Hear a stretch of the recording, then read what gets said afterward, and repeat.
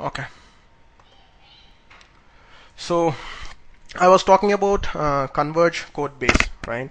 So as far as Converge code base is concerned, right? As I so what I wanted to tell you all about Converge code base is so Microsoft took the idea of SharePoint Online, so the source code of what was I mean whatever source code was used for SharePoint Online, Microsoft has used the same source code for SharePoint Server 2016 on premises. So the reason for Microsoft to do like this is what happens in SharePoint 2016, right? Is that yeah, yeah, yeah. Hello. Okay, I think you need to give me the presenter rights, I guess.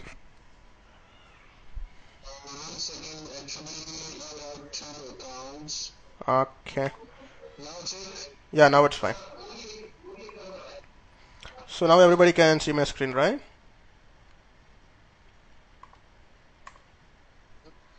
Okay, okay, fine. Alright guys, so sorry about whatever happened for all those technical difficulties. So uh, talking about the uh, Converge code base. Okay, I, this is where I, I believe this is where I lost you all. So this is something which Microsoft you know newly thought about when they introduced SharePoint uh, 2016. Okay, for all these years, whatever Microsoft was doing on SharePoint Online. So before I get into detail about Converge code base, so SharePoint 2016 has the same source code of what SharePoint Online uses. Okay, so Microsoft has made sure that we are using the same source code of SharePoint Online on SharePoint 2016. Now let me tell you the reason behind this. Okay, so what happens in SharePoint Online? Like every day you come to office, I mean all of a sudden you see a new feature showing up, right? I mean you you don't even get to see any downtime. You don't even know when Microsoft pushed that feature from the backend. You're not even aware of from where it's coming. But Microsoft was able to do that with no downtime at all. But at the same case, when you think about SharePoint on premises, right, for you to patch an environment and get that new feature, of course, you have to have some downtime. And on the other hand, if you think about it, right, for a feature to show up on SharePoint on premises, right? The same feature would show up on SharePoint. Let's say a feature is showing up on SharePoint Online today. Let's say something like Microsoft Teams or something is showing up in SharePoint Online today, right? For the same feature to show up on SharePoint on premises, it would at least take four to five years from now on. That is how Microsoft has been doing till 2013. And Microsoft had to ask themselves whether this is really the right way to do moving further, right? Because what happens is people who are using SharePoint Online, they get to enjoy all the new features but that was not the case as far as as far as SharePoint on premises was concerned, right? There was always a lag, and the lag was to such an extent that they used to say it only after four to five years. Now, why is that lag? If you ask yourself, the way Microsoft develops a product, right?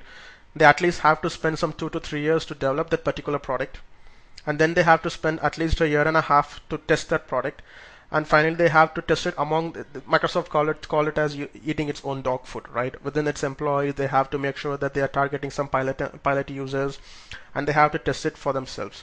So what happens is for this entire process to finish up it at least take 5 to 6 years of time. The same applies for any future as well any new any new features or service packs or something which something big which Microsoft is planning to introduce on a CU uh, or on a service pack. So Microsoft didn't want to do go with the same way anymore. So they thought that how we are, whatever we are doing on SharePoint Online, let's use the same source code. Let's also try to, you know, push SharePoint patches the same way as we do it on SharePoint Online so that even our SharePoint on-premises customers are up to date. Now let me fiddle back to the previous slide so that it would make more sense to you. So this is where I was speaking about where are we now, all right? So what happens is now how Microsoft is trying to push these features and make us always up to date. So if you normally see the way Microsoft pushes any update, it would be through cumulative updates or through any hot fixes. So most of these vehicles such as cumulative updates or hot fixes would be bug fixes, right? You very rarely get to see some new features or functionality showing up on a cumulative update. Maybe the service pack which comes in once in 12 months or something that is when Microsoft would introduce a new a feature. But Microsoft didn't want to do that anymore uh, in 2016. So what happened is they chose something called as public update. So this was something which was previously available on 2013 as well, but Microsoft started rolling out new features and functionalities in PU. Okay, this was not there before in 2013. So the way this works is, let's say Microsoft is developing some feature or something. you would be just seeing a stint of that when you're pushing it on when you're when you're pushing the June or July 2016 PU when you're installing that okay all of a sudden when you're when you're installing let's say you installed June you installed July you installed August everything is done and finally the feature pack 1 the public update for November is called as feature pack 1 you'll see some all altogether you'll be seeing some new features showing up and you would be even wondering how come all of a sudden it showed up that was the same way how SharePoint 2016 works, right? You wouldn't even know all of a sudden you'll be seeing something showing up there and you would be wondering how come all of a sudden it came up. So Microsoft took that idea from SharePoint Online and it pushed it here.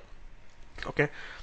So speaking about Feature Pack 1, that was something which Microsoft announced in their virtual conference at San Francisco, uh, I believe on May.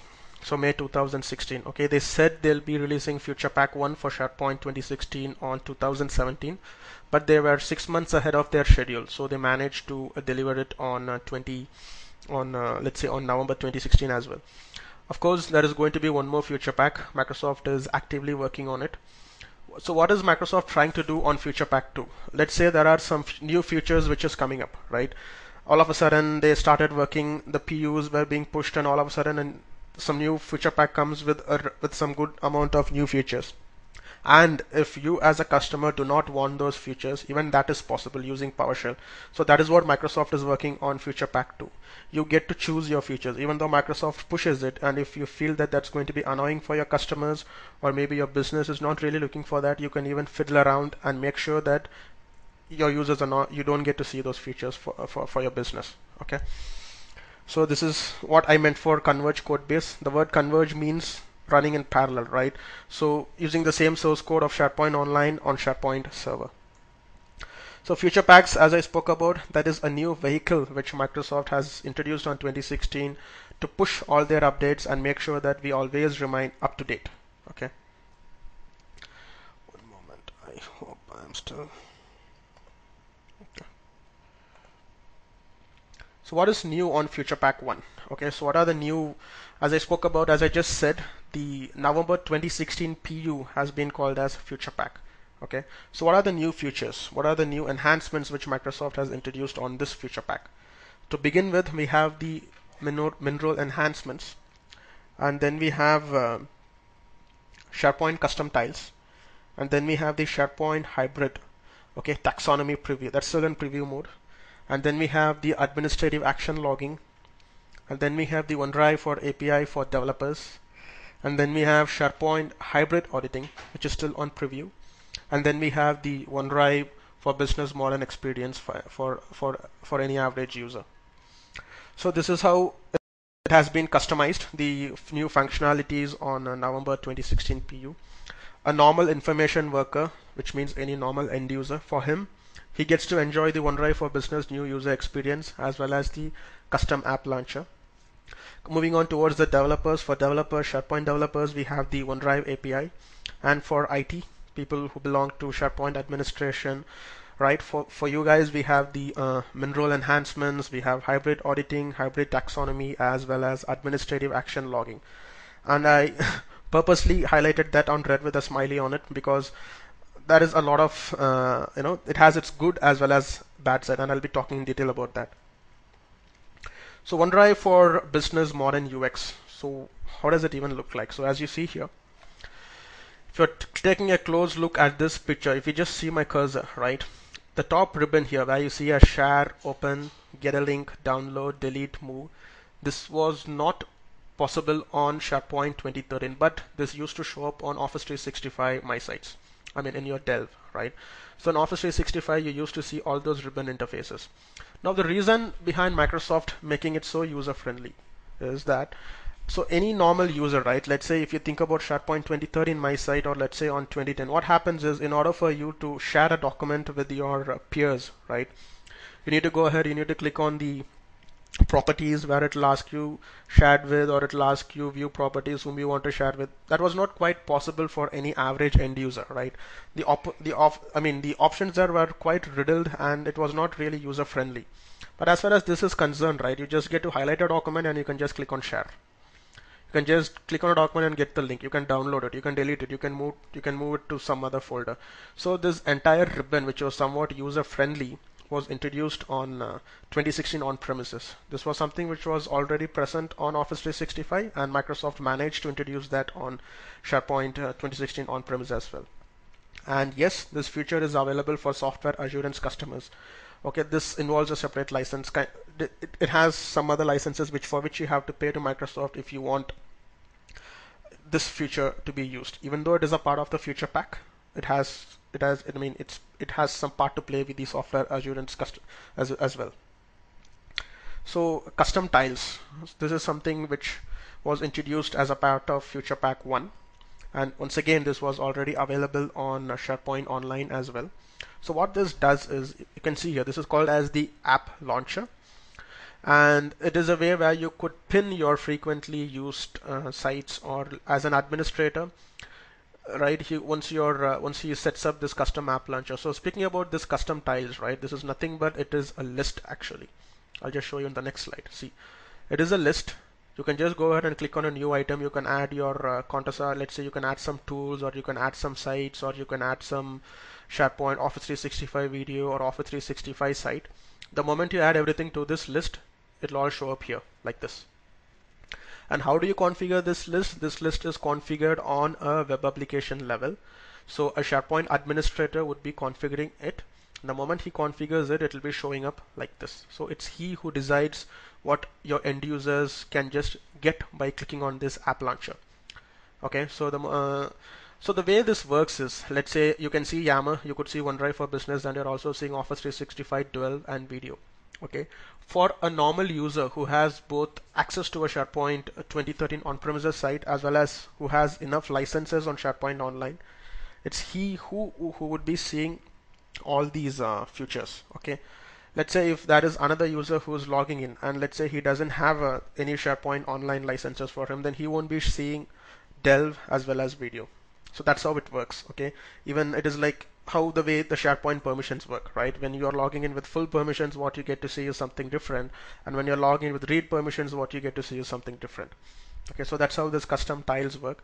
And uh, I repeat once again, it is a list from where you can go ahead and add new items. And then the SharePoint administrator does his job and it shows up as well. So in terms of configuring this in the UI, it is a hidden list. So you have to just go ahead. I mean there is a pretty good documentation on TechNet on how to do it but it is pretty neat and sleek if you're doing it via PowerShell okay? Hybrid auditing preview. So this is something which Microsoft managed. This is really great in terms of the work it does okay? So what happens with hybrid auditing preview is you as a SharePoint administrator or a SharePoint tenant admin in Office 365 you now get to see what your end users are doing right? What are the documents they are trying to access? What are the ones which they are deleting? What are the ones which they are editing right? This kind of granular uh, auditing was not possible in the previous versions of SharePoint. Of course this was available in Office 365 now if you're running hybrid with SharePoint 2016 as well as with SharePoint Online you could even keep your auditing as hybrid. And your SharePoint diagnostics logs as well as usage logs right uh, which you know the diagnosing stuff which does it. So even that can be moved to your SharePoint uh, online auditing reports. So this is how a SharePoint auditing online report would look like right? You go to the Office 365 admin center compliance and then you see the audit log uh, search. I'm not sure if you can really see this uh, options here completely. If you see here you could see the checked in files. So what are the checked in files or what are the deleted files or what are the uh, mood files what are the accessed files? So everything an average user is doing on his you know from day in and day out in SharePoint everything gets recorded everything gets audited. It's just not that which gets audited. Also the usage and diagnostic logs from SharePoint on premises even they get audited and they are pushed to those reports. So you can just access everything from your SharePoint online admin center okay? And there is a link down there on how to configure this hybrid auditing. So hybrid taxonomy which is still on preview. So what you get to do with this is the term stores the uh, term sets as well as groups which are a part of your uh, managed metadata right? So you could have them configured on your on premises and they will show up in your online as well. Okay? So hereafter it is not that you set a term store or terms in online you, it's specific only towards SharePoint online and you do that something on on-premises it's specific only to that. That's not the case anymore. You could collaborate them as far as your if you're configuring your SharePoint environment to run hybrid with feature pack 1 okay? So this is how uh, the UI for that would look like. The local site URL is where you configured it. The local term store name. Remote site URL is where you want this to show up and then any average user who has access towards the term store who's the term store administrator or who has access to it he gets to get the terms from SharePoint online as well as from SharePoint on premises. This is some pretty good work which Microsoft has did in terms of uh, taxonomy. So administrative actions logging. So this is uh, something which which is good as well as bad. Let me tell you what is good about it first and let me tell you what is bad about this first. So with administrative actions logging. What happens is, right, till now it's possible in SharePoint to audit what an end user does or what any normal, you know, what, what, kind of files they have been accessing, what kind of files they have been deleting, what kind of files they are trying to download, everything it's possible. But Microsoft thought, what if we could even audit what a SharePoint farm administrator is doing on the central administration? Well, that is something which is not which was not at all feasible before, right? So Microsoft has heard from its users, from its customers, because a lot of them were asking about this. Like, we, we would, you know, we also would like to see what an average farm administrator is doing and what are the stuff. Let's say all of a sudden you changed your uh, a service account password, right? And let's say you added few new uh, users to the SharePoint farm administrators group. So everything gets recorded there. Okay. So there are two ways to it. One is using the UI. If you go to your configure usage and health data collection section, you have this little checkbox here which says administrative actions. The moment you check this, it's going to start recording everything. Okay, whatever you as a SharePoint farm administrator would do, everything gets recorded. And the next way to do this is using PowerShell. Microsoft has introduced a new PowerShell for this called as merge SP usage log. This is something new which was introduced on SharePoint 2016. So using this, you could configure, you know, administrative action logging. Now that's the good part of it. Now let me tell you what's the bad part of it. The bad part of it is that you don't get to blame your colleague anymore, right? You do something wrong on the SharePoint administration site. You just can't go ahead and say, well, I'm not sure what I did. Maybe it's someone else who did it. It's not possible, right? because everything is going to be audited and monitored and everything is going to sit in the logs okay? So you just don't get to blame your colleague or as we always do right? Because most of the time if I end up doing something wrong in my previous days I would just blame SharePoint. I would just I don't know SharePoint has done uh, something wrong with SharePoint so that's not at all possible. So everything which you do will be audited. And this is a screenshot of how the merge SP usage log PowerShell would work okay? So the merge SP this is a screenshot uh, which was grabbed from the internet. So merge SP usage log identity administrative actions so it's going to give you there are dozens and dozens of uh, actions which it can uh, you know which it can audit. And this, I'm just you're just seeing two of it. We can see below a new user has been added to the uh, to the SharePoint farm administrators group. And someone has changed the uh, password settings okay? So everything whatever has been done in this entire uh, on the SharePoint central administration site can be uh, audited and monitored using this feature so in order to uh, make this, you know, you need to plan, you know, make sure that you're planning your uh, logging DB as well as the logs, because if you're gonna record all this stuff, you need to make sure that the drive space where the logs are sitting, you know, you have enough drive space there. I'm pretty certain that this is very important. You need to make sure that we are not doing anything wrong or for some reason your colleague or peer is not doing something wrong. So till now we spoke about feature packs, we spoke about software and hardware requirements. There are a lot of stuff which we spoke about. Now let's see about the migration approach to SharePoint 2016. Okay. So um, on one fine day, your business is really excited about SharePoint 2016, or maybe you are excited with its features, and you plan that you want to, you know, migrate to SharePoint 2016. So when is it feasible? It is only feasible when you're running an on-premises version of SharePoint 2013. It's only then you get to migrate to SharePoint 2016. And I'm really sorry to say that if you're running SharePoint 2010, then it's not possible for you to migrate to SharePoint 2016 directly. That's not the way how it works.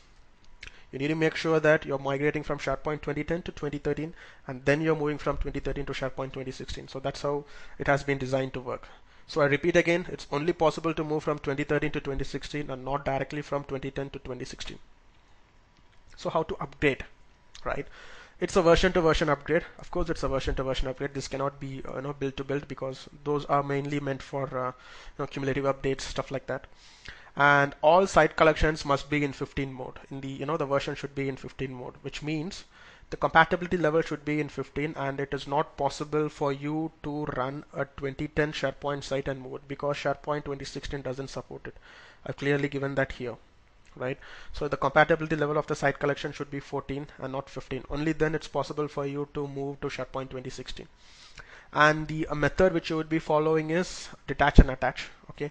There is no more I mean in place has been it's not even feasible for you to do in place upgrade right from 2010 I believe. From 2010 2013 it's not possible. You would be doing a database attach upgrade. And if you're planning to move from 2013 if you're planning to upgrade from 2013 to 2016 you need to make sure that you're running the 2013 CU for uh, March 20 for SharePoint Server 2013 only then your environment is good to be migrated to SharePoint 2016. So upgrading to the next version. So what are the things which you need to care about, right? When you're upgrading from one version to the next version. The, the main criteria is you need to make sure that the current farm which you're running on, the current environment is supported, right? You, it is up to the latest CU or uh, PU to move towards the next version of uh, SharePoint. That is something which you need to make sure. And most of the common errors which we as SharePoint folks do while we are planning a, a migration is that no matter whatever errors we see in terms of some orphan futures or might be some errors which you see on the content databases, we just skip it and we move it to the next version hoping that it will be fixed. Well, that's not the way it works. An error in SharePoint is an error everywhere. Doesn't mean that an error which you see on SharePoint 2013 may not be an error on 2016. That's not the case, right? So always fix all the errors on the current version before upgrading and only then it's going to be called as a clean migration. So I've given you some list of build numbers required to upgrade to the next version. If you're planning from 2007 to 2010, so that's the minimum build number version which you should be running. Similarly for 2010 to 2013 and from 2013 to 2016. I repeat, from 2013 to 2016, you should be running Service Pack 1 with March 2013 CU. So this is the overall upgrade process. This is something which we have been traditionally doing for years. You just plan and audit the complete environment. So you'd be architecting, build and test so you're going to run some tests to make sure that the new environment is completely up to date. The old environment is you've documented everything you've audited everything you have all the site collect you listed out all the site collections all the WSP files all the customizations. And then you're running an upgrade you're going to test it. And once you feel that it's good to go that is when the new SharePoint environment would be uh, exposed to your end users. And once you feel that everything is done you will be decommissioning the old environment. Okay this is a generic overview of how upgradation would be migration would be planned. Now points to be considered for as a part of your uh, migration or upgradation. There is no more pre-upgrade check. Okay, so if you're planning as SharePoint 2016 only supports uh, database attach upgrade, what have what you have to do is you're going to detach your content databases from 2013 and you're going to attach it back to SharePoint 2016 and in this intermediate process you need to make sure that you have to test your content database this is very very important because most of the time what we do is we just tend to detach it and we tend to attach it hoping that it would work no this is because you need to make sure that your content databases do not have any errors. There are no orphan entries, no orphan futures, and even the authentication mode for that. Because most of the time what happens is even if your web application, let's think about SharePoint 2013, right? Even if your web application is uh, claims, what if your content database is not claims and it's classic? Then that is vice versa, right? It's quite possible. Then you need to make sure that even your content database is on the right authentication mode. Okay, and uh, as as as 2013, even SharePoint 2016 supports classic. Claims is still there, but you shouldn't be using it unless and until it's really required. And the uh, you know the suggested method is move your uh, web application there and then try to convert it into uh, let's say if you're using a classic web application for some reason on 2013 I'm sorry uh, classic you move it here and then you migrate it to claims. So I've given some uh, uh, you know it's a screenshot here which says about what are the versions right? If you're moving from MOSS to 2010 so you should be following either database attach or in place or hybrid which is a mix of both. From 2010 to 2013 always do a database attach wherein you have your old SharePoint 2010 farm with its SQL version and then you have your new SharePoint 2010 farm with its SQL version you detach it and attach it here okay and similar way for SharePoint 2013 to 2016 as well. So SharePoint 2016 build numbers. So these are the build numbers if you want to take uh, you know if you want this as a reference for yourself. So these are the relative uh, build numbers for all the versions of uh, SharePoint as well as the PUs which has been released till date. Okay. And yes you also need these updates. So your updates is just not limited to SharePoint. You also need the updates for Office Online Server if you're planning to use Office Online Server. And you need App Fabric language packs let's say if your uh, customer wants SharePoint to show up in some other languages except for English of course you have to install language packs and then project server so the part of project server is now what happens is project server is not a separate component altogether in SharePoint 2016 okay so as far as SharePoint 2016 is concerned, you get project server on the same installation media for SharePoint server, like the same bits, the same binary bits for SharePoint 2016, you get project server as well. But the licensing differs, right? You cannot use the same license key for which SharePoint 24, SharePoint 2016, and you know you can't use the same license key for project server. That's a different licensing altogether. That is a different slide altogether where I'll be showing up how project server is is works uh, as far as 2016 is concerned. Okay. So Office Online Server version compatibility list. So in off SharePoint 2013, it was Office Web Apps. So Office Web Apps, as you all know, to open your documents in a browser mode. When I say documents, it is so most of the time people tend to confuse themselves. Okay, it is just only PowerPoint, Excel, Word, and OneNote. It's, it's only these documents, you know, as far as Office documents are concerned, which are supported by Office Web Apps or Office Online Server okay you cannot go ahead because most of the time people confuse that okay what about Visio right so Visio has its own service application right? So Visio has its own sub and it uses Visio service application to open in a browser mode and it doesn't use Office Web Apps for that. So for SharePoint Server 2013 Office Web Apps yes. And Office Online Server to some extent it is supported but not completely. And for SharePoint 2016 you cannot use Office Web Apps Server okay? If you want your end users to open their documents in the browser mode you have to upgrade to Office Online Server. And there are some other uh, uh, products which make use of Office Online Server. I've given their compatibility list as well, like Lync Server, Skype for Business, Exchange Server, and uh, Exchange Server 2016. Okay. Now the deployment guidelines. All right, so now you thought that all right, let's go ahead and uh, deploy SharePoint uh, 2016. So uh, what are the methods which you could follow? Right, there are two types of methods which are most generically available the GUI installation or using the PowerShell of course you could use AutoSP installer and I believe there should be some other uh, uh, methods to install SharePoint but these are the two ways which are really safe to do with and which I really feel that everybody would be comfortable with okay? To talk about the GUI installation method. So it is your normal next to next install mode where you just keep clicking next. You go through all the contents. You you choose the right config database, the correct SQL Server uh, name, and then you keep clicking next. Wherever prompts for any update, you keep seeing next. And the error traps in the UI. For some reason, if there are any errors which are trapped, then you may not get to see that while you're doing the UI installation mode. And it is the fastest way and also at the same point of time it is the ugliest way because it's quite possible that you could be doing something wrong and you may not be aware of what exactly you're doing wrong right? It might at least take two to three times for you to understand like what exactly I'm doing wrong. Am I giving the right SQL server name? Or am I giving the right passphrase? Or am I giving something wrong I mean, most of the time you just, you know, doing a SharePoint installation is not that easy. Maybe it is not any technical errors or it could be even human errors. So that is quite possible as far as the GUI installation is concerned. So moving on to PowerShell. As far as doing an installation with PowerShell is concerned, you're going to script everything. You're going to, uh, you know, it'll going to script the complete installation from where it has to pick up the uh, installation and uh, to which drive it has to install it, what is the passphrase, everything can be you know kept on a PowerShell script and you can run it. The good part about this is you do not need to be sitting in front of your PC staring at it, right?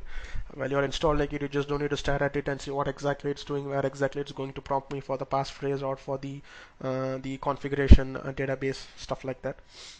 And uh, yes and it requires a lot of lot and lot of customized uh, scripting work to do. So it really takes a you know a person with proper PowerShell scripting to come up with a script like as such.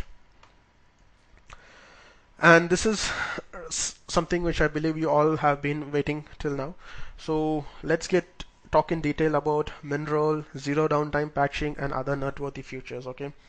So these are the new uh, features or let not just these are just not I just can't call them as futures. These are some really big enhancements which Microsoft has did in 2016 which could save the life of any SharePoint professional right? Which could make his life easy as a SharePoint guy. So let's get into the details. So MinRole what is MinRole really? Yes so MinRole is nothing but it is a role based topology as far as SharePoint now because earlier versions of SharePoint were server-based topology, right? You had the web front-end server where uh, it would be acting to, you know, where you have the SharePoint Foundation web application service. The moment you turn on that service on a server, from that moment onwards, it will be start acting as a web front-end server. You would be adding the web front-end servers to the load balancers, and they take care of the user request. And then you have the app tier, where you'll be turning on your search and other application services. And then on the back end, you would be having your uh, SQL. But the way MinRole works is totally different.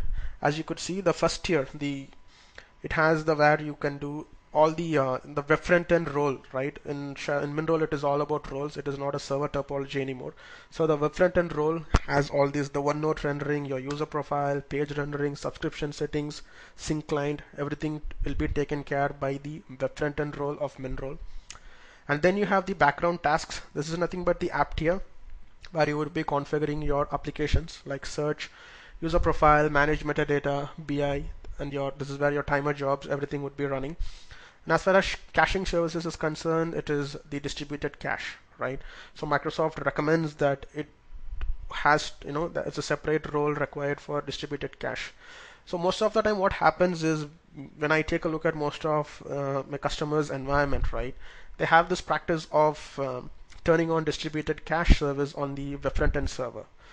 I mean, it is okay for some reason because you do not have much servers in your um, farm and you really, that is how you have planned the complete strategy. But if you think about distributed cache alone, right, which, which was introduced on 2013, it is a lot of work it does, right? It takes care of your uh, all the social features, all your password cachings, the OneNote rendering. It is just a lot of stuff it does. And if you ask me as a SharePoint guy, I would say you should dedicatedly give a server for distributed cache, right? Because it's a lot of work it does.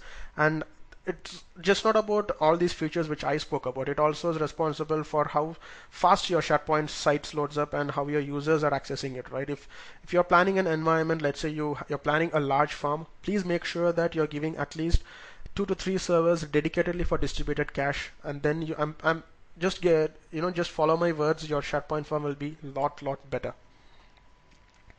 Now what is MinRole okay. As I already said it is a role based topology ability to create SharePoint farms based on predefined roles. Okay.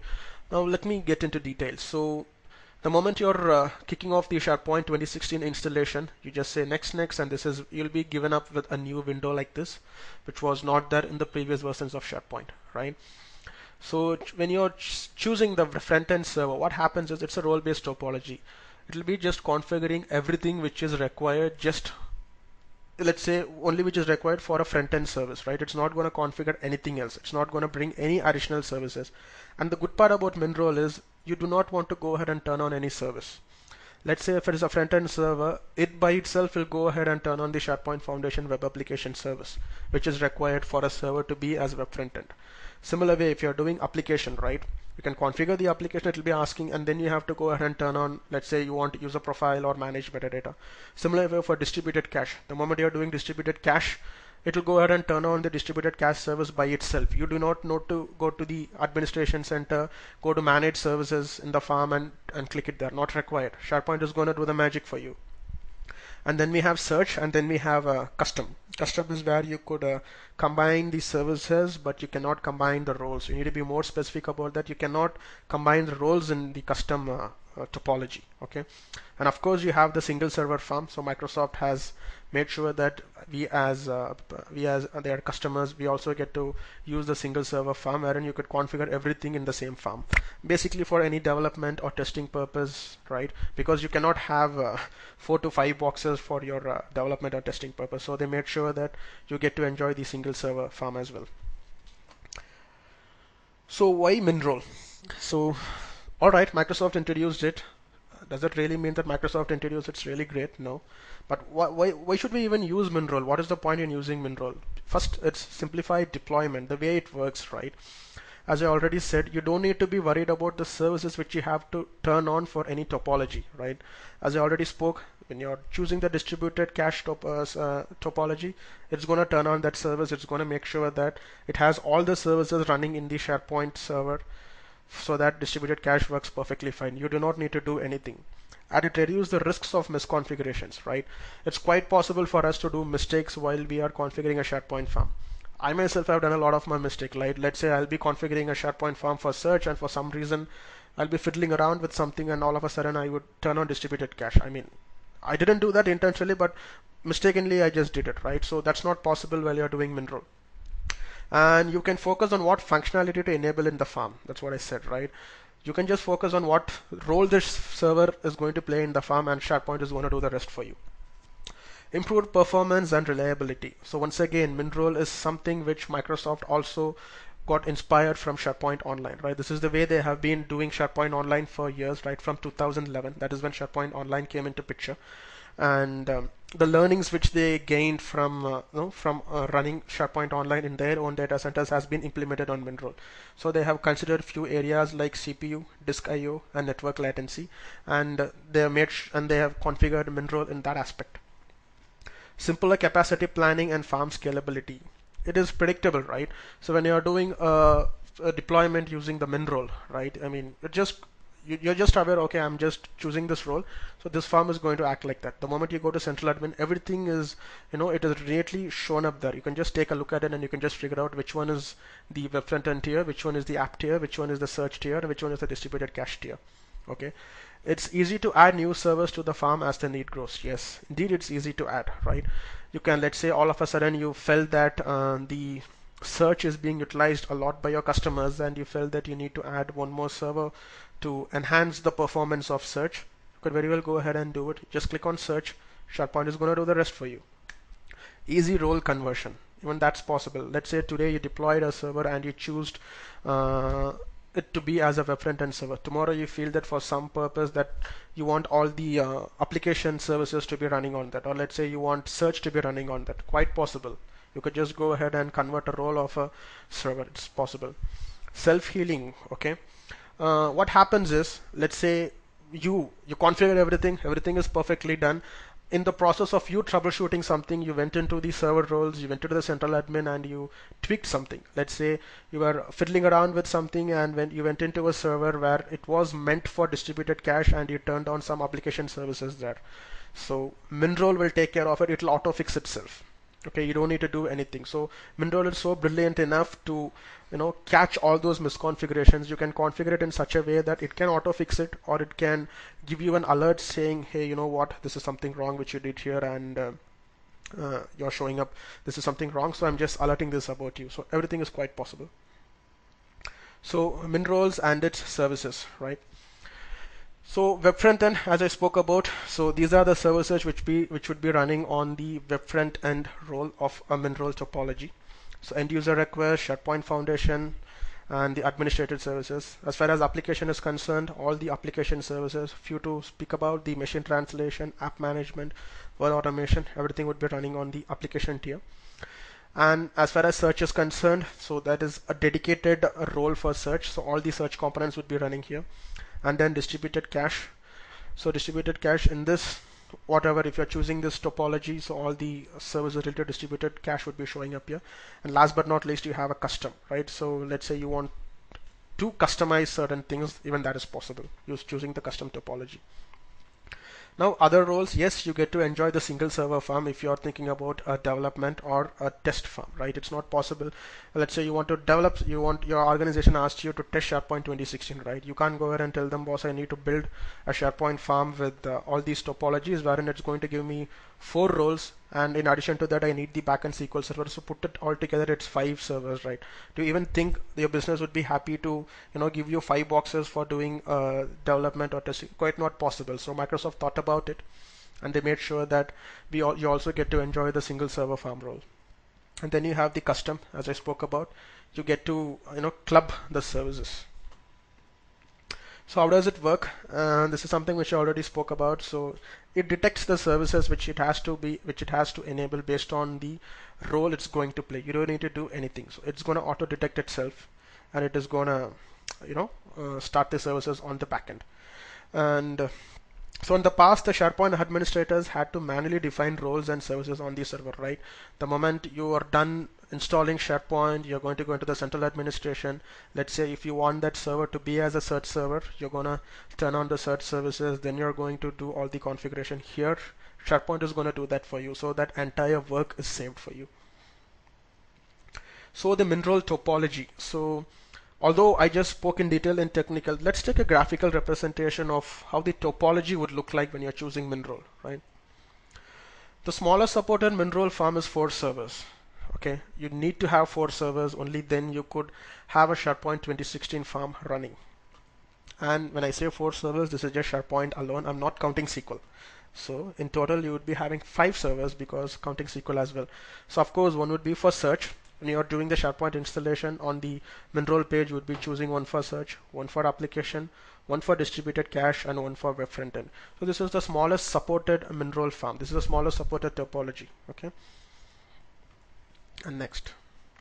So with high availability, let's say you want to uh, you want to make your SharePoint farm highly available with a MinRole topology, then what you need is this. For each and every single role, you need one more server so that your farm is highly available right? So this is something like, let's say maybe this is a stretched farm because I already spoke about stretched farm in my previous webinar. A stretched farm is nothing but let's say you have a SharePoint farm where one front-end server is in one data center and one front-end server is in a different data center in a different geographical location. Okay, so that is one way of your to make your uh, SharePoint farm highly available. I mean that is indeed good as well as bad to it because your backend configuration database is still the same. If something gets goofed up with your backend config database, then you're in real mess, right? But that's totally apart as far as the MinRole topology is concerned. So this is how you would be running a HA farm as well as a normal farm. So comparing a typical topology, your uh, typical SharePoint 2013 topology with 2016, right? So with SharePoint 2013, the normal topology, this is how it used to look like. So you get to use two web front-end servers, application servers where you could configure application roles, and then the backend SQL servers. Everything has its own HA server. The similar way on 2016, you have a front end, you have a distributed cache where each roles play. It's you know which this is for front end topology for distributed cache search, and then you have the backend SQL server. The same topology when you want to make it highly available, this is how you would do it wherein the idea here is to have two servers per role. For front end, I have one server as well as one more server which would be acting as its HA. Distributed cache, it needs three servers in a cluster quorum. Okay, so just to make sure that your farm is just not highly available, but it is also giving, you know, it uh, you get a good uh, uh, proper uh, page response and all those kind of farm is working perfectly fine. And for application server, yes, that is one more server. Similar way for search, SQL. Maybe these are this is in a cluster. The first one is the passive one, and the second one is uh, the uh, uh you know uh, the uh, first one is active, and the second one is passive. Just in case something goes wrong, it fails over to the next one. And of course, you have to be your, even your Office Online server should be made highly available. So speaking about this, let's take about a custom three-tier MinRole topology. I just don't need to explain this. You can just apply the math here, right? When you're choosing the custom tier, the front-end service is something how as it is as long as you're choosing the custom tier right? You have a custom topology in MinRole here you could choose what roles you have you want you can because you can customize the servers right? And then of course the backend SQL server which is still in uh, HA so number of servers. So now let's talk about let's say your business has to come up with a plan right? They want you to deploy SharePoint 2016 it's a production you, they want to roll out and they made sure that okay just come up with a plan where we our farm should be highly available and uh, there shouldn't be any disruption. Everything should be working perfectly fine. So what is the total number of count? How would so how would you plan the strategy? So this is how you would do it. So for MinRole we'll be giving four boxes because it has four roles and then the high high availability because there are some sources So the HA for MinRole right? You should have obviously for all the four MinRole services, you should have uh, the, you should have parallelly uh, uh, a server for that, and then on top of that, there are services like distributed cache, which might require one more box. And then for provider hosted apps, you might require two boxes. workflow manager of course you would require three boxes if you're planning for HA right so workflow manager guys I haven't spoke about this yet so as far as workflow manager is concerned there has been no change made in 2016 okay? It is exactly the same way how it used to be on SharePoint 2013 and for Office Online server yes for it to be highly available you need two servers. And the backend database you need two boxes wherein one is active and the other one is passive. So in total we are talking about 18 servers here. That's quite a lot isn't it? So so for your SharePoint farm to be highly available and you want to do a very good configuration your farm is really running spinning up well we are talking about 18 boxes here okay so MinRole post feature pack one so I don't think whatever you saw whatever I spoke about MinRole is going to it's quite convincing for us as SharePoint folks but I don't think your uh, business is going to be convinced of that. You even think you go ahead and tell them that boss, we should, we need 18 boxes. Just, I mean, they're not going to be happy about it. And a lot of these voices reached uh, reached Microsoft and Microsoft has did some enhancements to that in the feature pack 1 and what is that enhancement? They have clubbed the roles. So this is how it used to look before feature pack 1 and post November PU this is how it looks where the first two the front end and the distributed cache have been clubbed. So when you're choosing this that server will be playing the role of a front end as well as a distributed cache. And similar way the application tier as well as the search tier has been clubbed okay so this is something which Microsoft listened and they made sure that uh, you know you cannot have your uh, customers having you know because it's just not about SharePoint right? We, we are talking about the Windows server licenses when you want to install all those roles. There are a lot of things and your business just can't afford so many so much of boxes. And Microsoft here to here to that and this is what they have done. So how does the MinRole topology look? We just took about uh, we just saw a topology of uh, MinRole now how is it post feature pack 1 so this is how it looks like post feature pack 1 now the smaller supported MinRole farm is just two servers. And once again it is just SP alone because application and search is clubbed distributed cache and referented is clubbed. Now you can just have two servers and you could build your dev or test environment. Okay? And of course you need a backend SQL server. So counting that it would be three. So the smallest MinRole farm with high availability is four servers which is once again SP alone with HA because there will be one more server in parallel for all these roles. So this is how it's going to look like. And yes, there will be one more server to be added, which would be the SQL. And if you are talking in terms of the uh, HA for SQL, so it will be total six boxes. Post feature pack one, this is how we would be running. Okay. Now administering and managing MinRole, yes, you have the PowerShell for that. Let's say, if in, I mean, you plan to tweak the role of a role of a server. Let's say today it is a web front-end server. You want to make it as a app server tomorrow. It's quite possible. You can either do it using the central admin or it's possible using the PowerShell. And that's the I've given the PowerShell command for that. In terms of UI, this is how you would do it.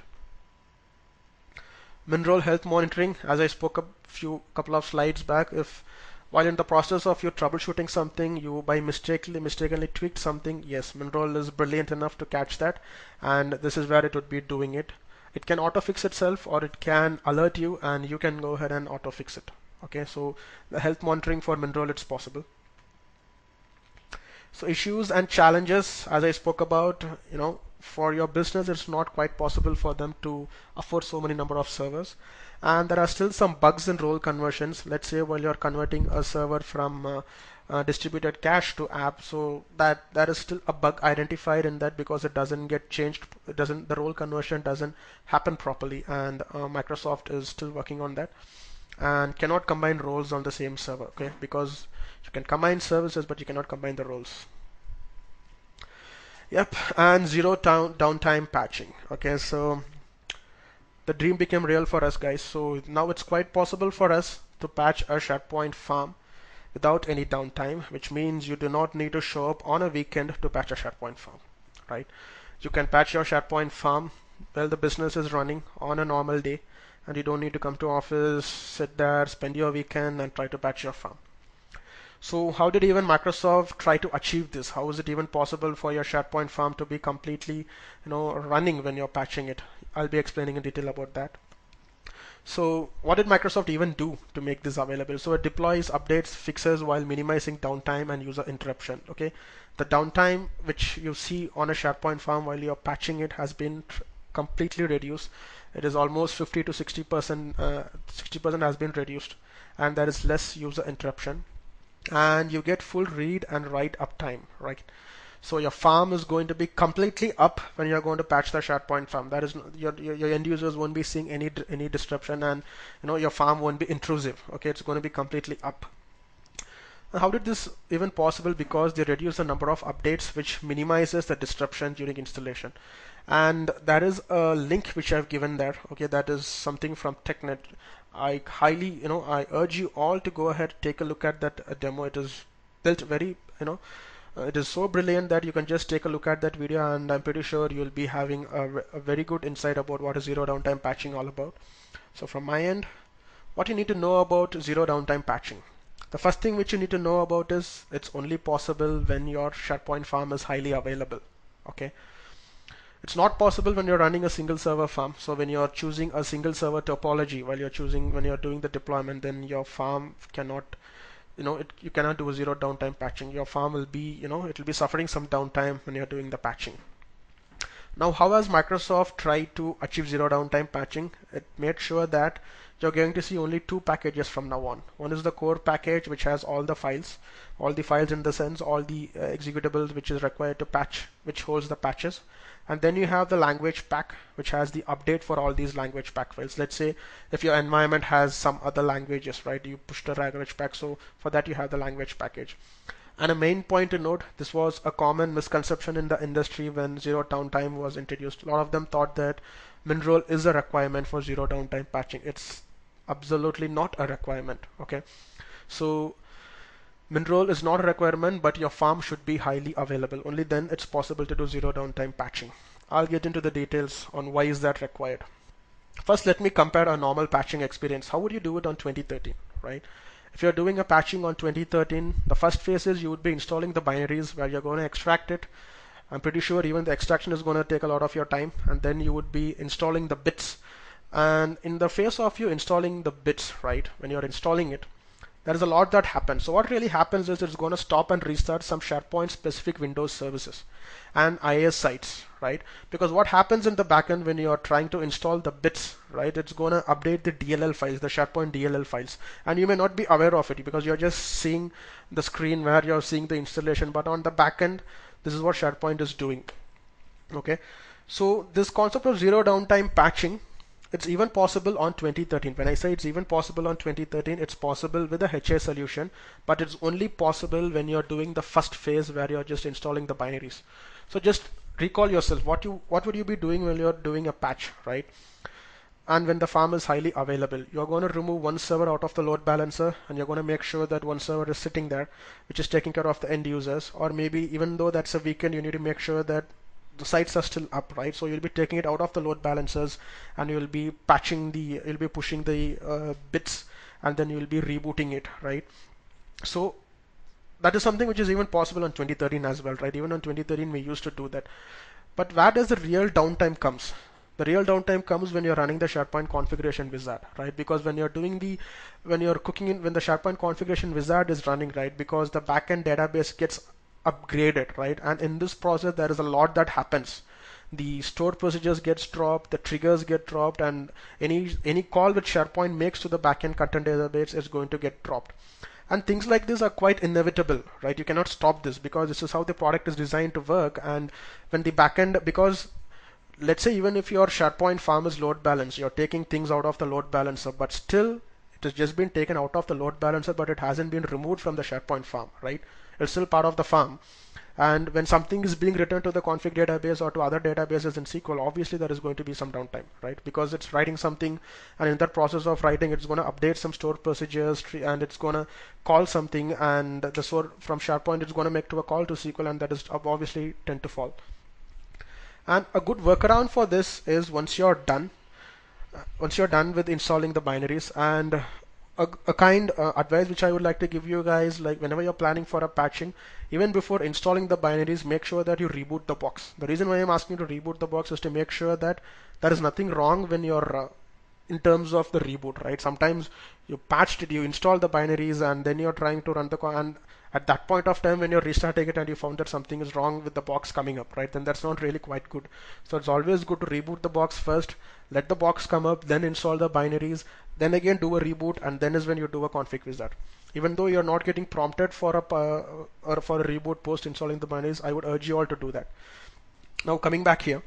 So in the process of DB upgrade, right, it's going to take quite a lot of time as it's writing something to the backend databases. Now the way a good workaround for this is you could run this command upgrade SP content database. You could run this. The good part about this command is you could run that parallelly on many windows for all the SharePoint uh, databases so that it, it, it minimizes the time which takes you know, which SharePoint takes to run the configuration wizard. And you could also add the use snapshot pipeline because when you're using a snapshot pipeline, that is always going to be the database has a snapshot version of it and it is really updating the next one. And the bad thing about snapshot command is it's only available with SQL Server Enterprise Edition.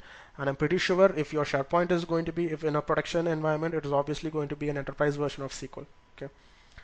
Now, this is how a normal 2016 patching experience would be like. So how is that different in 2016? How is that different? How does so what Microsoft did for 2016 in terms of zero downtime patching? First thing which it did is the file size, the installation binaries, right? The installing those bits, the file size for them has been reduced. So you don't get to spend a lot of your time in installing those binaries. It's just done within a fraction of minutes.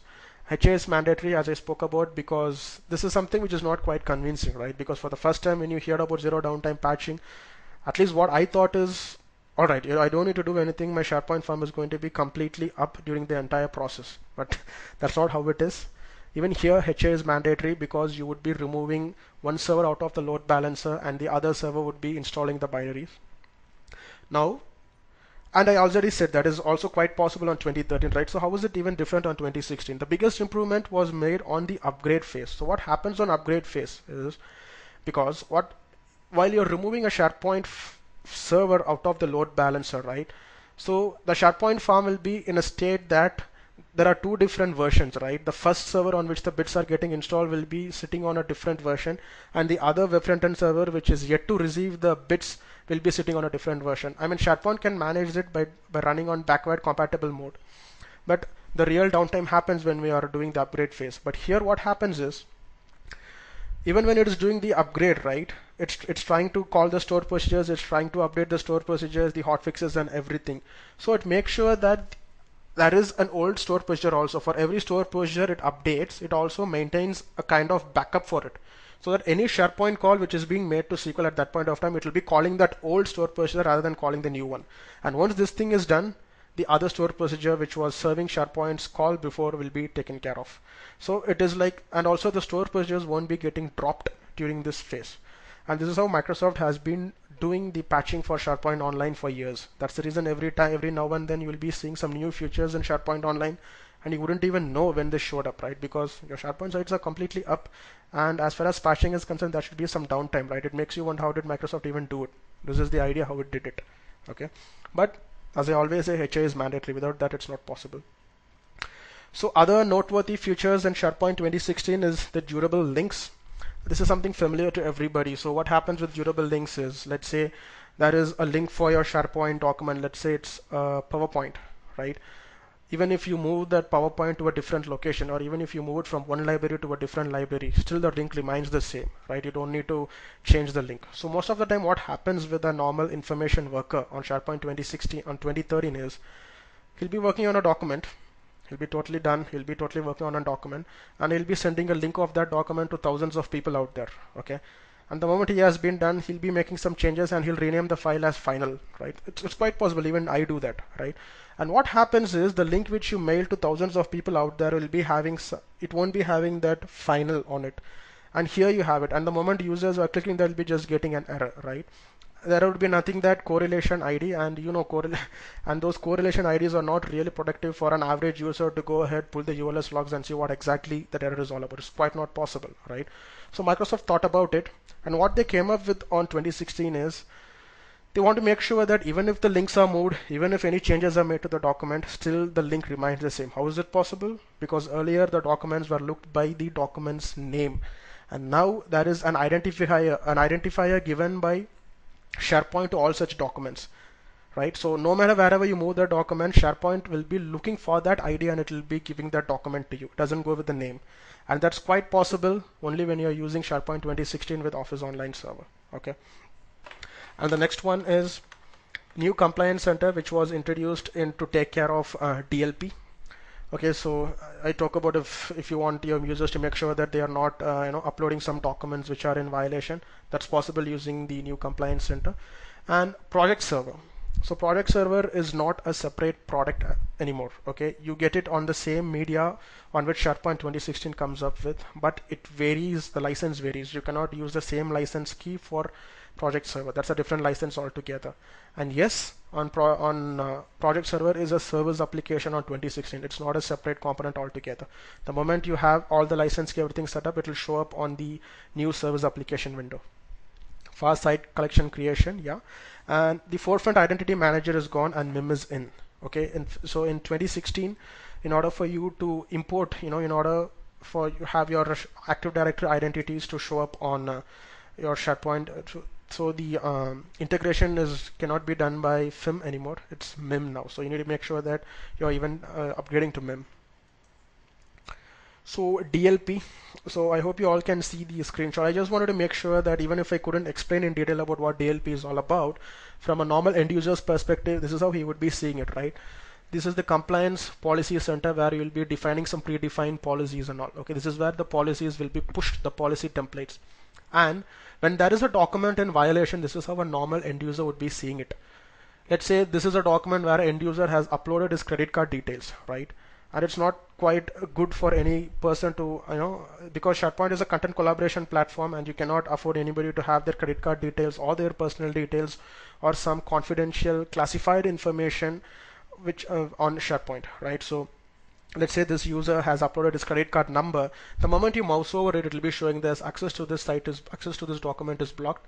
It conflicts with the policy in your organization. Because that is a policy which says a DLP policy which says end users can't have their credit card numbers on SharePoint.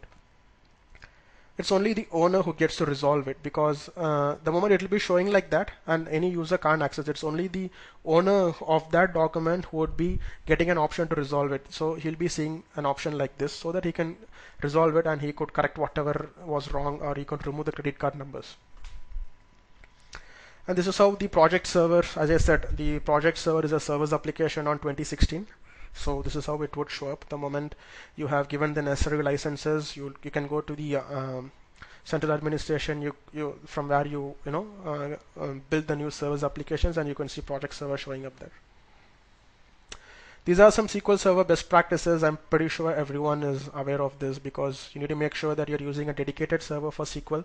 And uh, because most of the time what happens is on the same instance where SharePoint lives, you'll be seeing people having some other data, let's say a FIM database or let's say some other databases, right? Now what happens is for some reason, if you have to, uh, you know, uh, restart the backend instance, right? Because your intention was to restart it for some problem which SharePoint had and you would end up restart and even FIM would go down, right? Because the FIM database is sitting there. So make sure that even you're using a dedicated SQL instance for SharePoint and configure SQL Server settings before you deploy. Yes, you need to make sure that your SQL is uh, you know installed well in advance before deploying SharePoint. Harden the database server. Make sure that all the uh, Windows patches updates everything is taken care. And uh, this is something which is pretty normal which every SharePoint person would know right? Take care of your uh, logs data files and continuously monitor the performance of SQL because SQL is indeed the heart of SharePoint. Something wrong with SQL then you're in big mess okay so those are the SQL Server best practices and these are the DB best practices. So you need to make sure that the MDF and LDF files are not stored on the same location. Make sure that it's stored on different locations and you cannot have your uh, SQL MDF and LDF file sitting on the same system drive, right? On the C drive on which SharePoint is installed. Make sure that it's sitting on a network drive or make sure it is sitting on a different drive altogether. And CLI config, so SQL alias, that's your friend. But there was a scenario in my organization where we were changing the SQL alias for a SharePoint farm and it went terribly wrong wherein few servers in the farm were pointing to the old old SQL alias and few servers in the farm were pointing to the new SQL alias. I mean, we had to spend a lot of our time in, in fixing that. So high availability in SQL Server, it's quite possible using always on availability groups and uh, because that is something which new which came up on SQL Server 2012 and log shipping and uh, I mean mirroring is no more in uh, SQL Server 2012. So choose the right high availability model. I would suggest to go with failover, you know, SQL Server failover clustering because that is where the entire instance fail, fails over to a new SQL instance. Manage your logs. Keep sure that you make sure that you're managing your database logs, your SharePoint logs. Make sure that you're not turning on verbose unless and until it's really required because that's going to consume a lot of your drive space. Search index should be taken care and your IIS logs. So uh, quick recap. So right from the beginning of this session, although we had some technical interruptions, so uh, I really do apologize for that, but this is the um, contents which we have uh, discussed till now. So we started up with SharePoint 2016 evaluation. We spoke about the focus areas and then we spent some time talking about the hardware and software requirements. And then we spoke about what's new and what's deprecated. What are the new features which Microsoft introduced on 2016 and what's deprecated and feature packs. I hope you guys gained some insight for yourself about what feature packs is all about because that was a new terminology altogether and every sharepoint guy out there was probably wondering what a feature pack is all about right? Uh, and microsoft's on the migration approach towards sharepoint 2016 if you're planning to migrate then what is that you need to be aware of? Then yes we spoke about MinRole zero downtime patching and other noteworthy features and we indeed took a look about some best practices for SQL as well as for the SQL database. So the review and roadmap for SharePoint 2016 is as what you can see on the screen. So till Feature Pack 1, these are the uh, PUs which Microsoft has released. And yes, Microsoft has planned for a Feature Pack on 2017 as well. So this is how it is. And to conclude, yes, from what I've shown you today, I believe you guys would agree with me with SharePoint 2016 is truly phenomenal, right? I, I just I hope no one would uh, go against my opinion because I truly believe whatever Microsoft has did on 2016 is something which is truly phenomenal and it is definitely the next uh, go-to on-premises version. So indeed, it's a multi-tentacle beast. So I always call SharePoint as a multi-tentacle beast because if you think about SharePoint, right, it's just not something as a content management platform. It could just do a lot of tremendous things if you know how to do that right? If you're really skilled enough to configure all all the stuff which SharePoint can do it is really a multi-tentacle base it can do a lot. You could automate things. You have workflows. You have something where you could collaborate with external line of business. You could have stuff coming from Oracle and SAP sitting within SharePoint. It is just a bunch of things which SharePoint can do. Uh, yes and SharePoint 2016 was built for continuous innovation which means Microsoft is still trying to push some new features. They are they're they're still working uh, they're still working on some innovative ideas to make SharePoint 2016 more rigid and uh, you know more user friendly and uh, there are a lot of enhancements which they are planning. Well, that doesn't mean that 2016 is going to be the last on-premises version of SharePoint. Not at all. They have already announced that the next on-premises version of SharePoint is going to come. As I already said, the source code of SharePoint uh, Online, SharePoint 2016 is from SharePoint Online, and the source so it is completely stable. So please endorse SharePoint 2016 to your customer for its beauty. So I believe from whatever you guys see saw today in my presentation, I believe this is one of the best versions of SharePoint which uh, came out till date because I mean just think about the features, think about what it can do. I mean just imagine if you could afford SharePoint 2016 for your business, right? It's going to be really awesome. And as always, something which I keep saying to all my friends and peers and to my colleagues, SharePoint is just not meant to dump your files, right? It's meant to make wonders and happy SharePointing guys and thank you so much for working I do and so these are if you have any questions which you want to bring along so please feel free to ask me now. I can take certain questions